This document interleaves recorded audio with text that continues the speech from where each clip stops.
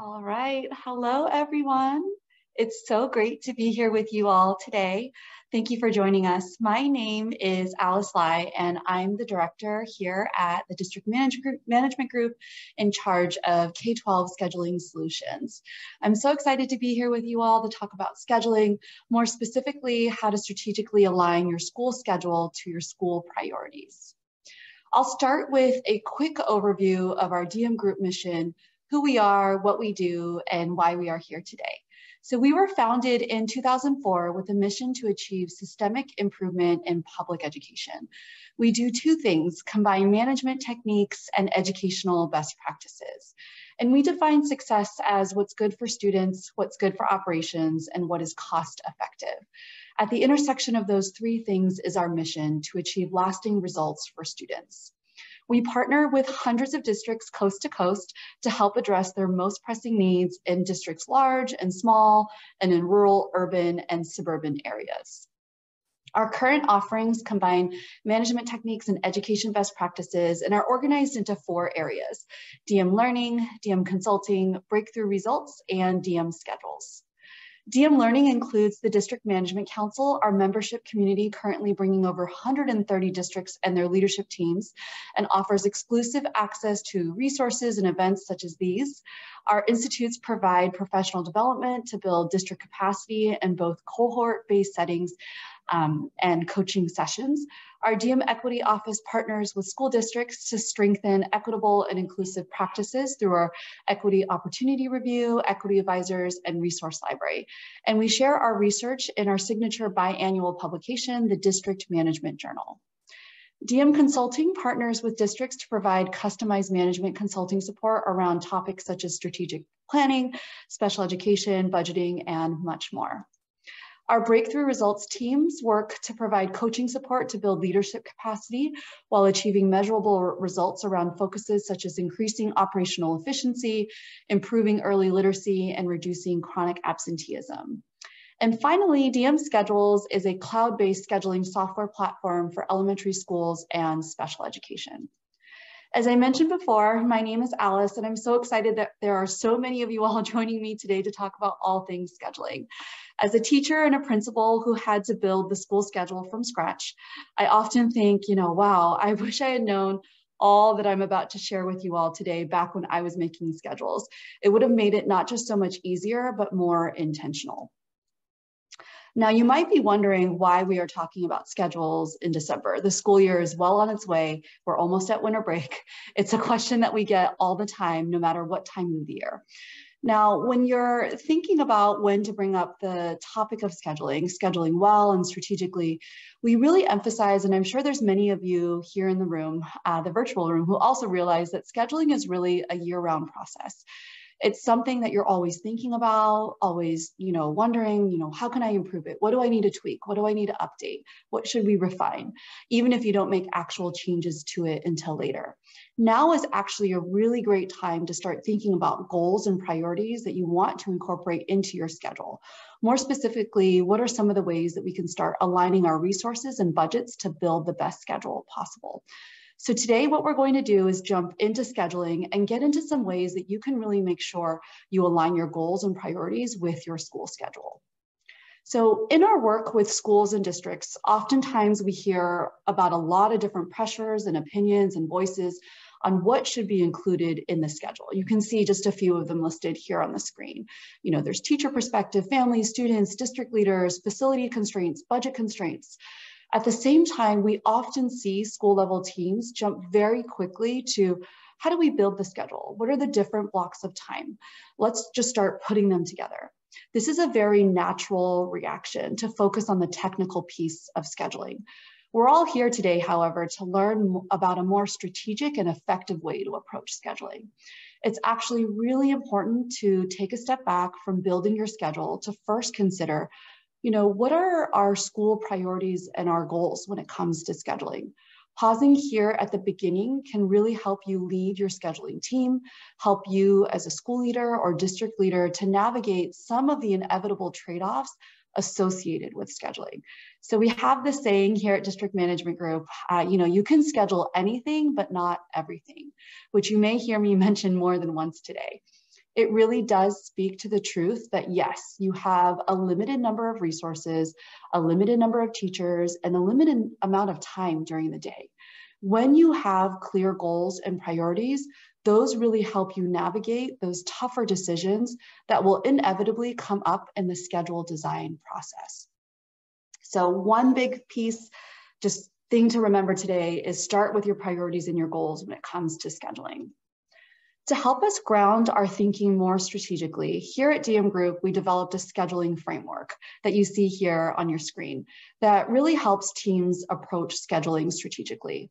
When we start with clear goals and priorities to drive how time is allocated, what courses we offer, how we staff, your schedule becomes an effective tool to drive towards and support your school priorities. For today's webinar, I'm going to use a secondary scheduling case study so that you can understand the situation the scheduling team was experiencing, see the schedule complications that brought them to us for support, and then feel the impact of a few strategic decisions and changes on their school schedule. So this is District A's school schedule. It happens to be a middle school schedule, but all the strategies I share today are very applicable to the high school setting as well. So you can see that this is an example of an eighth grade schedule. If I was a student, this is the schedule I would look at.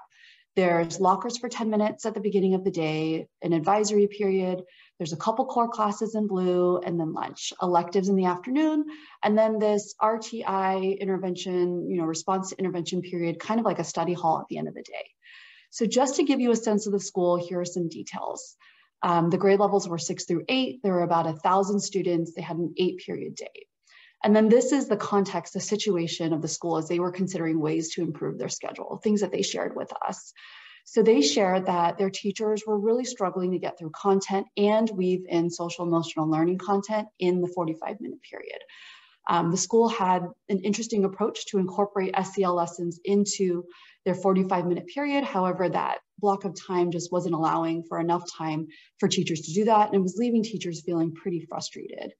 They also shared that the response to intervention period, that RTI period, the goal was to provide intervention at the end of the day. However, honestly, they shared that it just wasn't being well used. And, you know, kind of everybody in the building knew it, uh, but didn't really know what to do about it.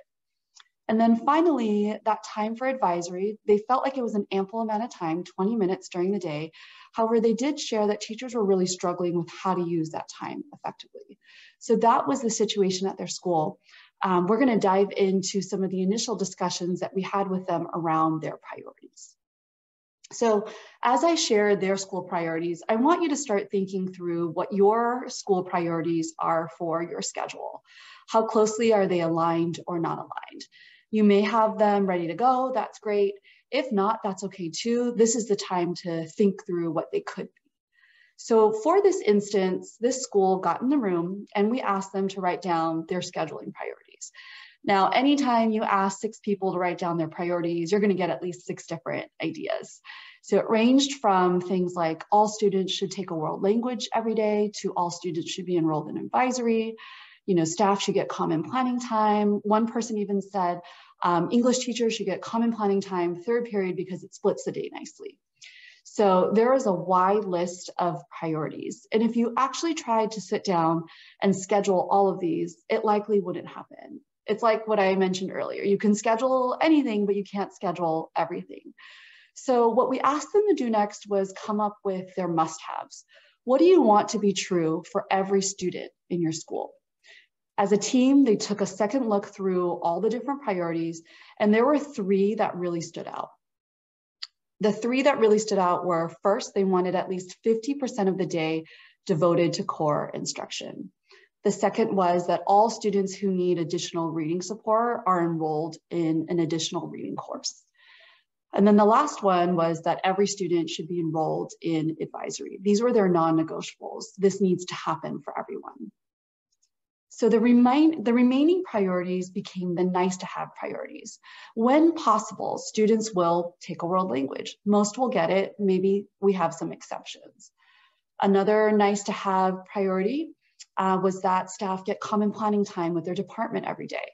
The school worked really hard to make it happen, But if that was the one thing stopping those first must have priorities from happening, the school would reevaluate. Another nice to have was that English teachers have common planning time during third period. Maybe they would have common planning time, but it you know could switch for one quarter. They were willing to let that be flexible. So the specific takeaway that we really encourage you all to consider here as teacher leaders, as principals, as district leaders and superintendents is to take some time to align your priorities as a scheduling team. Even if it is at the beginning of the scheduling process, simply documenting and writing down your priorities or your de facto priorities is a good first step. Maybe they will change. Maybe you will realize some are more doable than others, and that's okay. But simply having this list at least at the beginning to work off of is really helpful to guide your work moving forward. So District A had this set of must-have priorities. Our focus for the next couple minutes is to see how we can translate this schedule on the left into a schedule that reflects these must-have priorities. So I'll give you all just a moment. Take a look at the schedule. And if you were in charge of this school, what are some ways that you could potentially adjust the schedule such that it reflects the priorities on the right? So just take a few seconds, think about it, jot some ideas down, and then we'll walk through a couple different ideas. Um, this is really just to build some time for you to reflect and consider how to schedule strategically. So we're gonna go ahead and dive right in priority by priority, starting with at least 50% of the day is devoted to core instruction. So whenever we look at a schedule, especially the Bell schedule, we always start with the question of how is time allocated over the course of the day? So we examined the schedule and we organized it into the three buckets on the right there. Non-instructional time, non-core content instructional time, and core content instructional time. For the purpose of today, we said core content is math, science, English language arts, and social studies. Um, we know that varies on school context, district context. Some schools say world languages is core. That is definitely a district decision that I encourage you all to get clarity and alignment on. But for the purposes of today, we said these four represent core. Now, over the course of the day, we saw that 43% of the day is core content. In our research and our work with teams and districts across the nation, we've seen as low as 40% and as high as 70%. So there is a lot of variation. What I would encourage you all to consider as you look into that is to ask yourself and think, you know, it is a reflection of your priorities and your efficiency of your school. So when you calculate that number, is it aligned with your priorities? Are you surprised? Does it meet your expectations?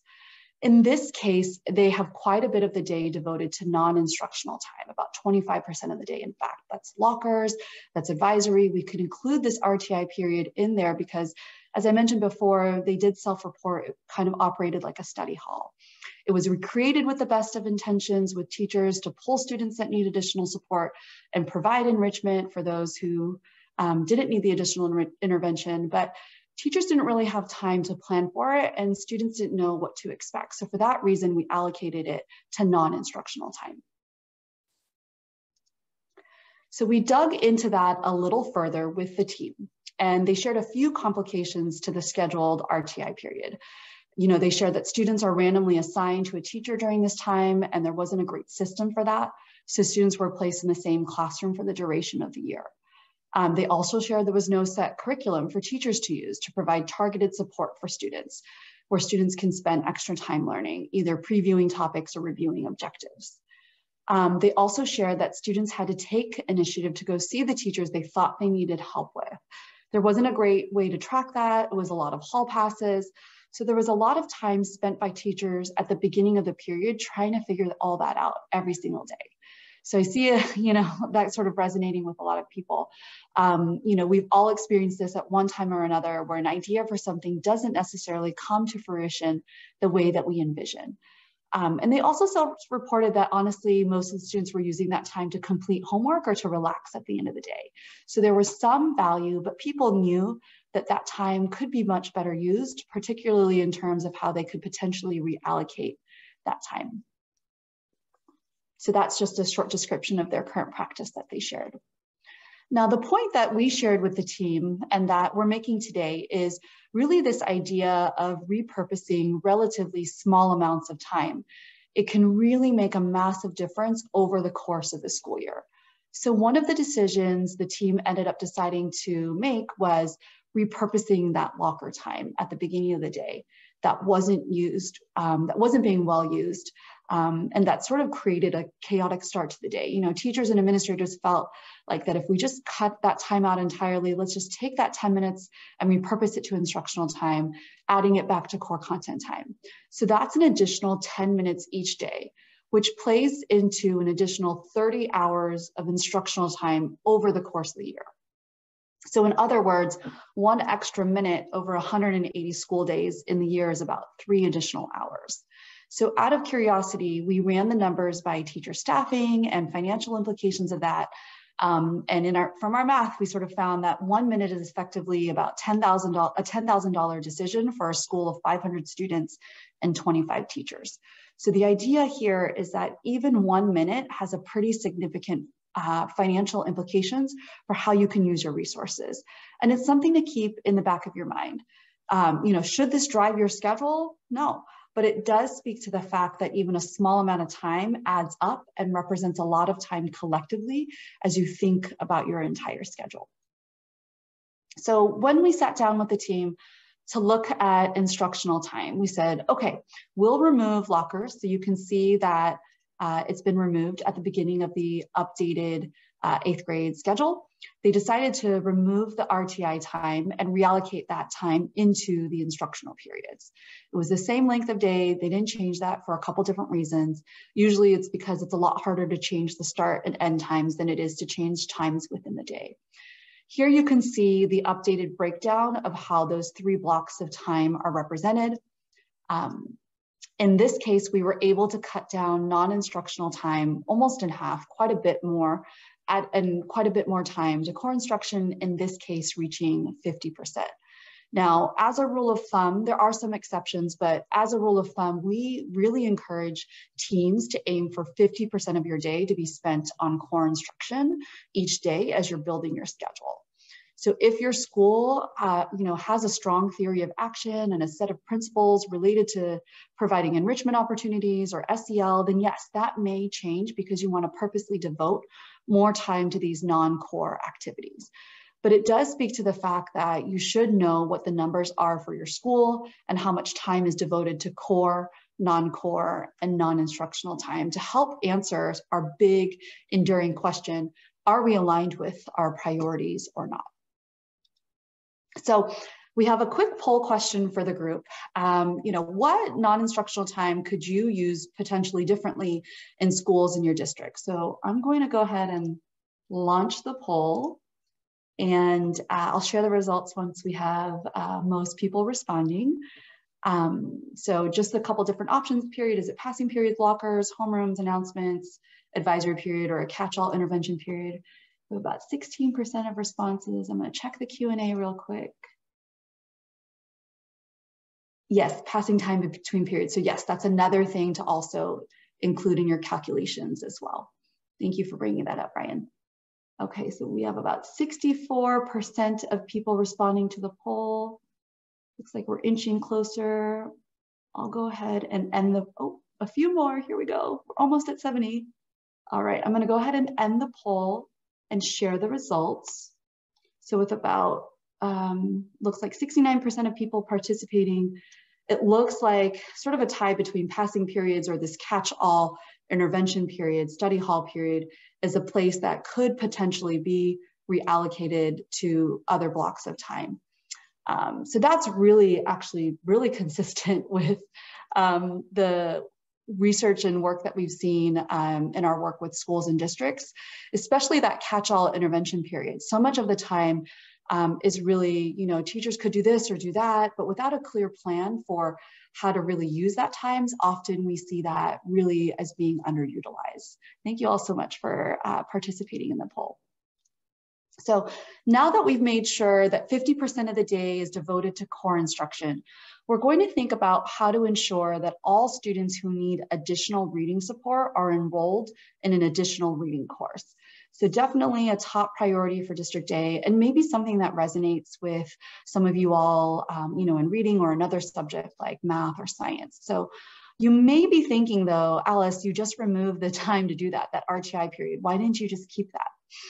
So our actual recommendation here is to provide targeted intervention to students who need it.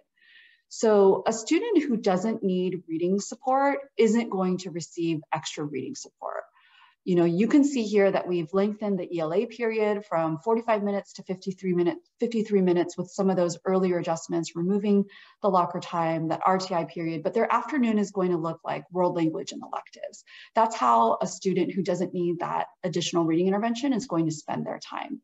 Now, a student who does need additional reading support is not going to have the same schedule because those two students have different needs. Instead, they're actually going to have one of their afternoon classes become a dedicated reading intervention with a content strong reading intervention teacher who can focus on those students' needs. Now, if I can read the mind of at least one of you, I'm assuming someone's thinking, you know, but what if that's the only class that student showed up for today and you took it away? Abigail loves art and now she's going to reading intervention. And I 100% agree. If Abigail or whichever student loves an elective, don't replace that elective. One option is to let them choose which class they're replacing with reading intervention. We do not want to take away a student's passion for school. Instead, substitute a different class that they may not have as much passion for with reading intervention while still maintaining their focus area. Another strategy that you can consider is, um, you know, this type of intervention strategy is moving away from a more RTI, open RTI period to more specific intervention model and making sure you create an actual intervention course you know, we've been working with the district to really build out a new intervention plan and courses actually before the pandemic. Uh, we checked in with them this past fall and they said, you know, Alice, pretty much the only reason these plans survived is because our intervention courses had a course number, a name, and a teacher assigned to them if we hadn't done that, it would have turned to into, well, you know, I guess we can do this intervention, but maybe we don't have to, or teachers can figure it out, or we'll start it sort of halfway throughout the course, the, the school year. When you create actual codes, assignments for your intervention courses and treat them as you would a content class, an elective, an enrichment class, it really changes the dynamic for how people see the intervention course for both teachers and students. So if you're thinking about this approach, my recommendation is to make sure that you treat the intervention course as you would any other course. Now, when we look at our third and final priority for what District A wanted to ensure happened in their new schedule, um, the third priority was that every student be enrolled in an advisory course. In their original schedule, it was still there. They had it at the beginning of every day for 20 minutes. Now, the headline here is that not everything needs to be changed. Some things can just be restructured. So they had that 20 minute advisory, but when we got into what it looks like, how it is, how it's being used, it turned out that it follows what we call a typical advisory practice. The, these were full-size classes. Each teacher had about 25 to 30 students they were responsible for. They were randomly assigned based on the first letter of their last name. Teachers were responsible for creating their um, own plans and activities um, which with everything going on even prior to the pandemic was just a lot on teachers' plates, prepping multiple classes, then needing to figure out their own advisory lessons or activities. Um, if you ever Google advisory activities, as I have done as a teacher, it is a deep dive into an array of things where you can go and, you know, you will get everything from kinder to 12th grade activities, and you really have to search for something that fits your specific group of students. So because of this, uh, advisory can often become a type of study hall, um, a place where we make announcements, a place where teachers decide individually how to use that time. So we didn't want to take away the time. We repurposed it and incorporated these best practices that we shared with the team um, from our work with schools and districts around the country. So one best practice is to ask students, who do you want to lead advisory? And open it up to anyone in the school.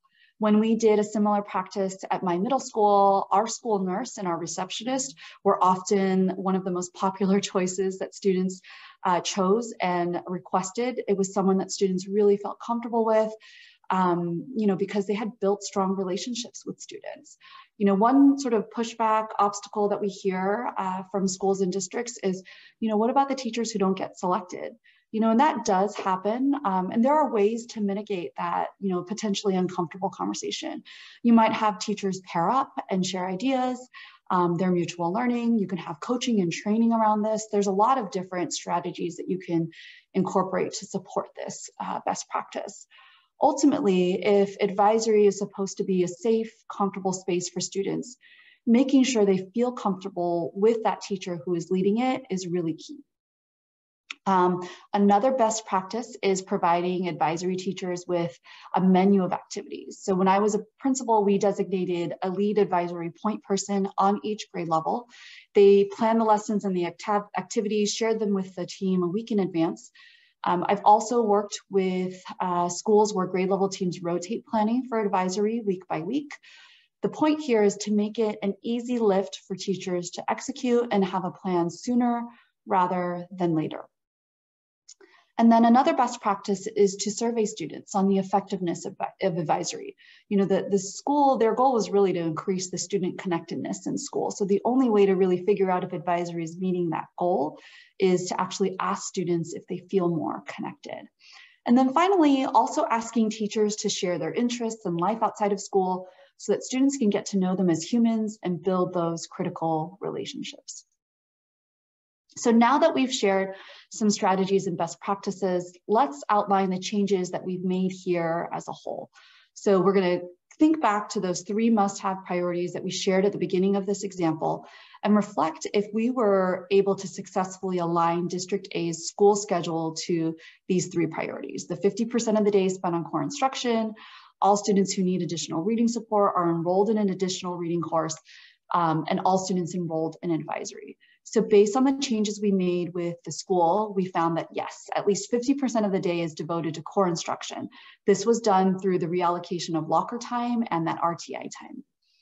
And then we also found that yes, all students who need reading intervention are in reading intervention as opposed to taking an elective the other point really to make about that is it doesn't need to be for the full school year. It can be for the quarter, the semester, on a six week cycle. As a school, you can decide the cycle when students can move on from an intervention course. It's another best practice that we've seen as well. And then finally, every student is enrolled in an advisory course and it's implemented with clear structures, roles, and responsibilities and expectations to make it even more effective. So when we take a step back on this, you can see that yes, there are different options you can consider when thinking about how to change your bell schedule and how time is allocated.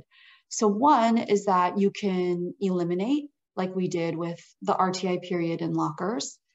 Another strategy is to think about shortening different periods throughout the day, which we didn't do in this example, but it's pretty common. Another strategy is to extend time as we did with some of the core instructional periods in the schedule. And then alternatively, you can also maintain as we did with advisory. So with three of these options, you can really focus on the strategy of using time differently or more productively, as with the case with advisory, where we made sure that time is really well used as opposed to previous school years. So if we take a step back even further from this, when we think about scheduling really strategically here at DM Group, we encourage schools and districts to consider the components we've captured here in our scheduling framework that I shared at the beginning of our time together. Now, we spoke about two of these today, uh, goals and priorities, and also time allocation of how a bell schedule is set up. What's the breakdown between core and non-core? How is intervention built into the schedule? Um, we didn't touch upon it as much today, but you know, another topic that falls into this bucket is how is social emotional learning incorporated into the schedule? Sometimes that can be in ex explicit times that are separate periods or weaving things into the core um, instructional periods as well. Also, two other big areas that we didn't touch on today. One is course offerings, so which really gets into you know, what ways are you providing rigorous opportunities for students in both an efficient and equitable way? How are you incorporating student voice and choice into the schedule? Um, this is re both really relevant for both middle school and high school.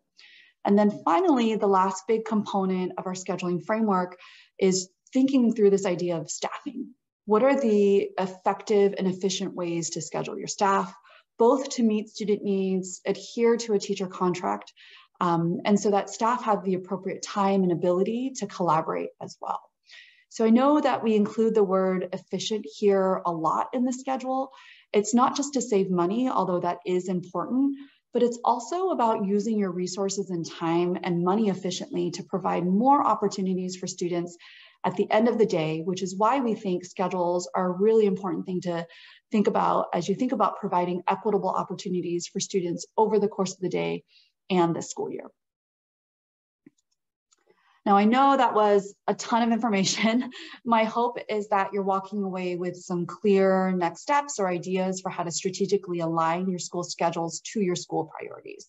For some of you, this might be enough just to get started when thinking about this coming fall or the year after. For others of you who might be looking for more strategic support and clarity into how to engage in this critical work, uh, coming up in this January 2023, we're hosting another secondary scheduling institute. We'll hold your hand and help you guide your team to strategic, strategically design your schedule. We'll share the best practices and research, proven strategies we learned in our work so that you and your team can hit the ground running and learn how to schedule strategically it is a team-based approach. You and your colleagues can work together to plan and schedule effective academic interventions into your schedule. You know, how are you maximizing what courses you are offering? How can you prioritize and figure out how to best leverage your staff to meet the needs of students? We'll do this through three sessions where, where we'll go in depth into all those things that I just shared in the previous slide about our scheduling framework, goals and priorities, time allocation, course offerings, and staffing as well as individual coaching calls uh, with each team who joins the Institute to really get into the nitty gritty of what's going on in your building or in your district. You know, a few reasons we've seen people sign up in the past, you know, like myself and maybe perhaps some of you, you've never really been trained on how to design and think about creating schedules. You kind of just did it because they needed someone in the building to do it. Um, this is a really good formal structured approach and opportunity to learn about how to approach scheduling strategically.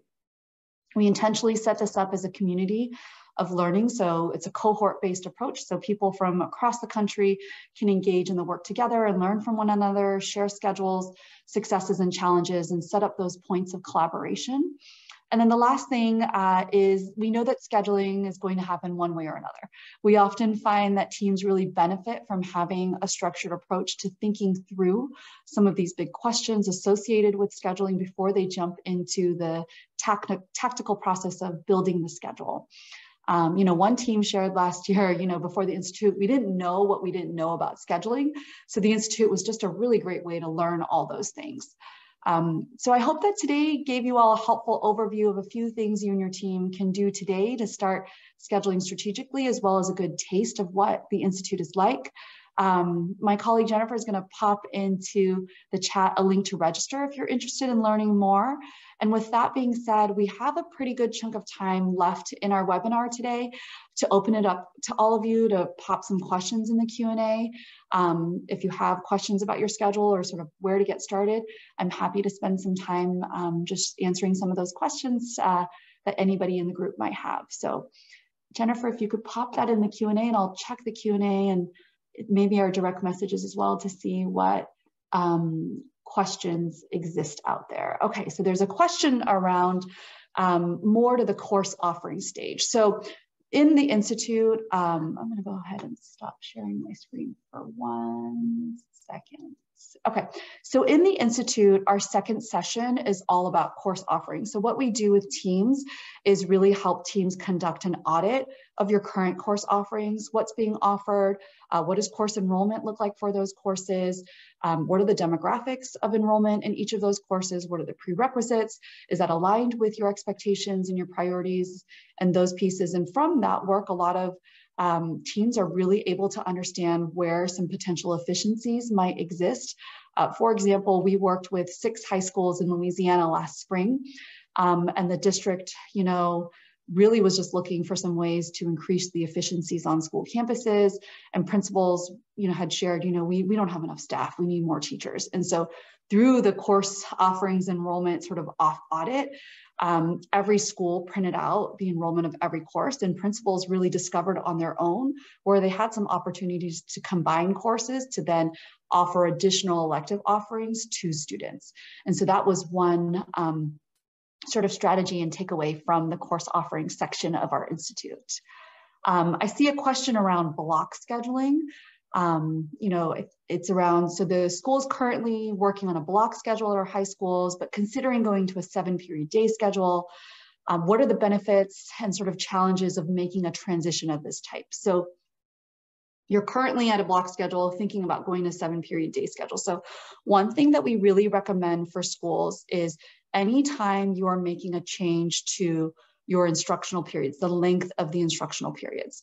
Oftentimes we'll, you know, hear from schools or, you know, sort of share, we, we just switched from the block schedule to the eight period schedule, I, or the seven period schedule. I made the schedule, we calculated the times, we shared it with the staff and we said, go why isn't it working?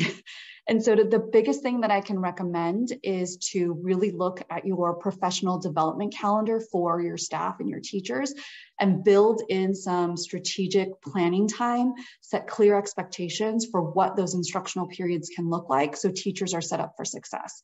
You know, if your block period is, you know, a 70 minute block period and you're going to a 45 minute or a 50 minute seven period schedule, that's a pretty significant transition for teachers. So you wanna build in some intentional um, professional development, have clarity around your expectations for what those periods should look like, and then also continuous support throughout the school year. Um, another thing that I would recommend if your schedule allows, what I always recommend for schools is if there's a way to test out a schedule change before launching it fully. So if you're making that transition to go to seven periods in the fall, if there's a way to try out that seven period schedule at the end of the school year after testing, then your staff can experience what that seven period day looks like and you can problem solve through some of the hiccups that you might encounter. So for example, when I went through a, a similar schedule change, um, we tried it out and what we discovered was our transitional flow in the hallway um, led to a giant sort of traffic jam and we had to adjust some of the flow for how kids were transitioning to classes. So that was just one big takeaway that I'm so glad that we did at the end of the year before launching the new schedule in the fall. Um, there's a question around priorities. So does the Institute support schools in creating their schedule priorities? Absolutely. So in the first session, we cover scheduling priorities. Um, if schools and districts don't have scheduling priorities, we have a process where you can brainstorm sort of the de facto priorities that exist when looking at your schedule. So oftentimes um, schools who don't have clear priorities will look at their schedule and realize, oh, we really value electives. Electives are incredibly important to us. We, student choice and voice is one of our big priorities. And so we have sample priorities that we share with teams. We support teams in conducting actually a scheduling audit. So as a team, you can really reflect and think through what are the benefits and challenge of your, uh, challenges of your current schedule. Um, in that process of sort of sharing those anecdotal um, takeaways. We also support teams in sending out surveys to your staff or to students as well, looking at your academic data to see if that also helps you understand your priorities as well. So there's a lot of support in drafting some initial priorities. And what we really recommend is, you know, getting clarity from the district up front if there's any specific district-wide priorities that schools need to build into their schedule from the beginning. So for example, a school we worked with last fall, as they started the Institute, um, they didn't sort of have a clear understanding from the district if there were any district priorities. So when they went back to the district, the district was like, we're really moving towards SEL in a year or two. So really build in some SEL um, options and opportunities for all students into your schedule. So that was a really big, important district-wide priority that the school then built into their schedule as well. Another question we have is when does the Institute start? So the Institute will kick off on January 17th. It's a one hour kickoff with all the teams to get to know each other, introduce each other, share the scheduling framework, just to get your teams, your principals, your APs, your teacher leaders, whoever's joining your team sort of um, understanding what the purpose and the objective is from joining the Institute. And then the first session is January 31st. And so we have, we're pretty flexible with the kickoff. If teams need some more time to either get you know, financial approval from your district, sign the registration, or sort of assemble your team, Um, there's enough wiggle room to at least get everybody started by January 31st. That's the first session um, for when we really recommend everybody to be joining by. All right, let's see, what other questions do we have? Another, another great question. So there's a question around the flex block. So this is a really common sort of like popular trend that I hear from schools a lot. This idea of a flex block catch all period where it could be intervention and enrichment, kind of like that RTI example that I shared um, in the sort of um, case study that I just shared. And so what I would recommend if your district is thinking about how can we incorporate intervention, but also, you know, kids that don't intervention, what needs to happen? So when it comes to a flex block, the simpler, the better is usually what I recommend for schools and for districts. And so thinking through what are the structures that you need in place to identify which students must be in intervention and which students are um, might not need intervention and can be in enrichment. So what we did at my school for this was for our flex block, it was 3 to 4 p.m. every day. I had my math and um, ELA teachers identify which students needed to be in intervention on a six week cycle. And we used specific assessments to do a pre and post test to understand when students were ready to sort of move on from being in that intervention portion of the flex block so that they could then enjoy, join enrichment. For students who weren't in the intervention period, we structured it by grade level. So for sixth grade students who weren't in intervention, we surveyed them and asked them, what are possible enrichment activities that you would be interested in? So they, soccer, basketball, knitting, um, there was computer science, robotics, there was um, yearbook uh, photography, we had a running group. So all students' interests. Then we took those student survey results and shared it with the sixth grade team and any of other adults that were supporting the enrichment activities for the sixth grade team.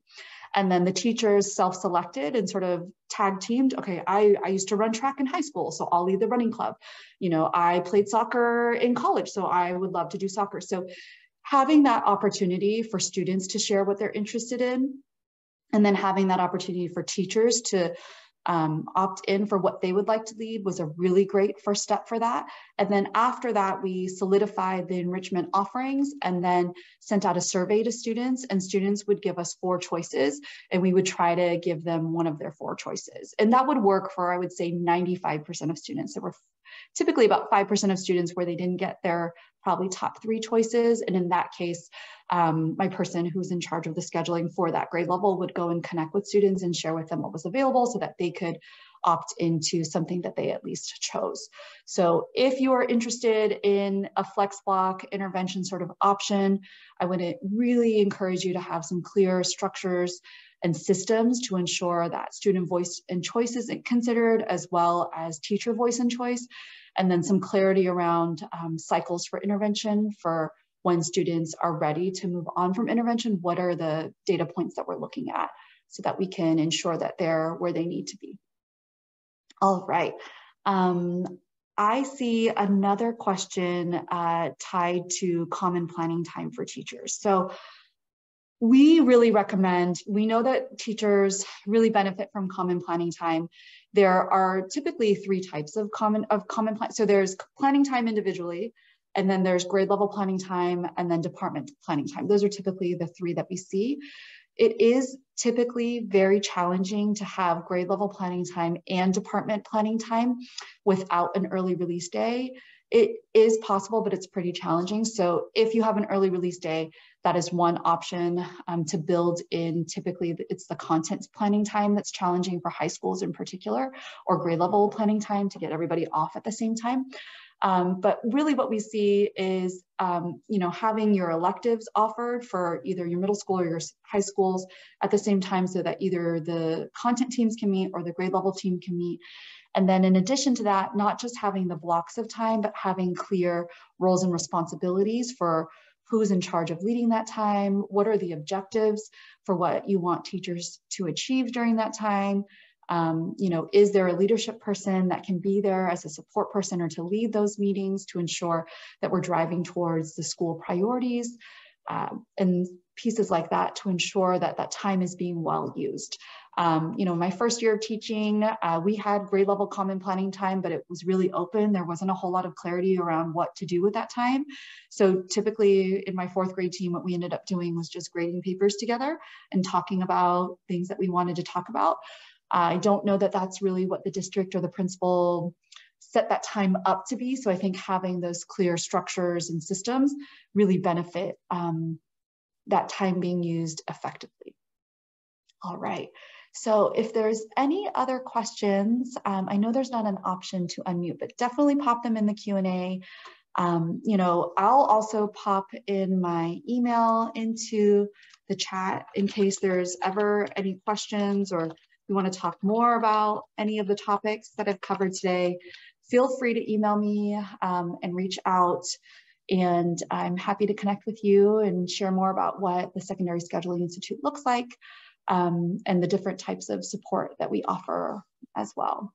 And then Jennifer or Maya, if one of you can pop in the registration for the Secondary Scheduling Institute, that would also be great. Uh, there is a request to go ahead and share that last slide again so that you all can see. So let me go ahead and share that. Um, just a quick overview with the dates and all those pieces. All right, okay. Oh, let me scroll down, more questions, awesome. Okay, so let's see, give me one second. Okay, scheduling suggests scheduling suggestions for a middle school and a high school that share the building and have the same schedule. So if I'm understanding, you're looking for different sort of schedule ideas. For, they share the same schedule, so that's great. Um, oh, the give me one second. Okay, so sorry, lots of chats. So um, they the middle school and the high school share a building and have the same schedule. So that is a really great strategy in your district and a really great way to share staff. So one of a lot of our schools intentionally do that so that you can share staff between buildings, either elective teachers or some of those um, staffing um, positions that are harder to staff, uh, like robotics or computer science, those math and science pieces. Um, and then the other thing that's really beneficial when you have a shared schedule, specifically for students on an accelerated pathway in your middle schools, we really find that incredibly beneficial for students who are ready to take advanced math. So if you have an eighth grader that's ready for geometry or algebra two, having that as an option is a really beneficial piece as well. Um, and then also for any of your electives as well. So we've seen schools at the middle school level, especially if the schools are um, in the same building, having uh, students be able to take courses at the high school level has been a really great benefit of that as well. Um, okay, and it looks like Jennifer and Maya can't chat the registration into the chat, so I will see if I can do that right now. Okay, let me see if I can chat it. Okay, lots of screens and boxes there. Okay, that's the registration link to uh, the Secondary Scheduling Institute. Okay, there's a question around a set number or types of schedule model models that your institute offer teams. So we will, in the second session, we'll share an overview of the typical models. So there's the eight period, the seven period, the AB, the block. There's a really interesting rotational waterfall drop schedule that's kind of crazy, but really cool. Um, there's a trimester schedule. Um, so those are just the standard ones that we share. If you have a specific sort of request for what you're looking for, we have a wealth of schedules um, in our sort of data bank that we can share with you as well. So there's no set number. And we actually the biggest piece around the secondary scheduling institute is you know we used to lot, do a lot of custom scheduling projects where we would create the schedules for teams we would share them with principals principals would share them with their staff their staff would then ask principals you know uh, maya how come i can't have my um, science class on friday at 9 or why can't I have my prep on Tuesday at 1 p.m. after lunch? And then principals would come back to us with those questions. And so our biggest philosophy, our biggest goal is to build the scheduling capacity and expertise within a school and within the district because we know that you all know that your community and the context of your school the best. We believe by combining that community knowledge, that content expertise of your context with scheduling expertise, that's really how you're going to build the best schedules for your schools. So in our work in the Scheduling Institute, we don't I don't create the schedule for you. It's more about designing the schedule with you that's aligned to your scheduling priorities. So there's no sort of set like Alice is only going to look at two schedules. You can send me as many schedules as you like. I actually love looking at them and seeing what's out there. And I'm happy to give feedback, um, you know, and thoughts around any schedules that you happen to share. Um, another question that I see is around, is the Institute tailored to the needs of our individual schools is, or is it more of a blanket approach? So to answer that, Todd, um, our Institute, the sessions, the three hour sessions with your teams in that cohort setting, we share sort of the best practices, research, um, that we've learned in our work with schools in sort of that holistic approach around, you know, here are the best practices for intervention. Here are the best practices for social emotional learning. Here's how you can conduct a scheduling audit. Here's how you can look at course offering, staffing, common teacher planning, how to establish an effective scheduling process, how to manage change in your district. And then when it comes to a more individualized, tailored approach that's specific to your school, that's what the coaching calls are for. So between each of the three sessions, there'll be session one, then I'll have a coaching call with you and your team. You'll send me some thoughts around how your questions or what you want to focus that coaching call on. And that's where I will typically spend, the coaching calls are an hour long um, talking with either just the principal and the assistant principal or the whole team, however you want to tailor that coaching call um, specifically to the needs of your school. So we had one school um, in Lancaster, Philadelphia, uh, uh Lancaster, Pennsylvania, their biggest challenge was their high school was in two buildings and they had 400 students traveling between the two buildings. So they had a passing period that was 15 minutes long several times a day. So as you can imagine, um, that was a pretty challenging amount of non-instructional time um, that was being spent and where lots of fun, um, chaotic things were typically happening. And so that school's biggest goal was, Alice, how can we cut down the number of kids that need to travel between buildings so that we can cut that passing period down to five minutes. And so through our work together and three coaching calls, by the second coaching call, the um, assistant principal who's in charge of scheduling had whittled that number of 400 down to about 20 it was it was pretty phenomenal. Um, we wrote a really great article, sort of summarizing their experience that I'm happy to share with anyone who's interested. Um, but that's just a quick example of how we tailor our approach to the individual needs of the school.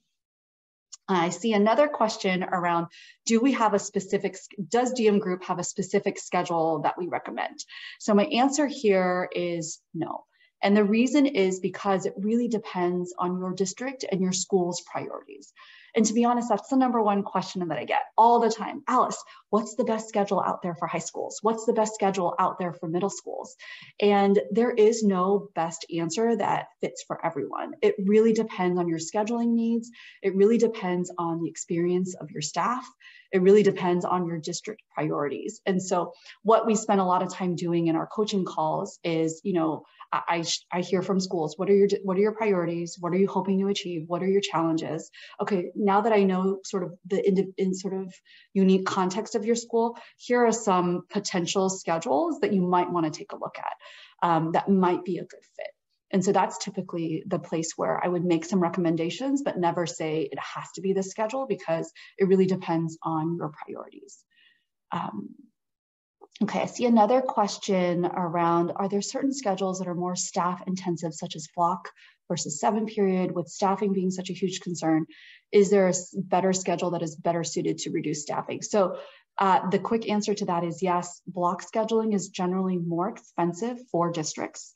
Um, it's more expensive to run and to operate. It's also typically harder to, or more challenging for most teachers to learn how to teach within you know a 70 to 90 minute period block versus a 45 to 60 minute period block so if your goal is to reduce staffing and to reduce costs i would recommend to sort of explore other schedules outside of the block schedule okay there's another question around an A day, B day block schedule. Uh, we're exploring offering a more standardized experience for ninth and 10th graders greater diversity of course offerings, have you supported balancing priorities that seem to be competing into opportunities for efficiency? So yes, so what you're describing there, Travis, is a lot of important priorities.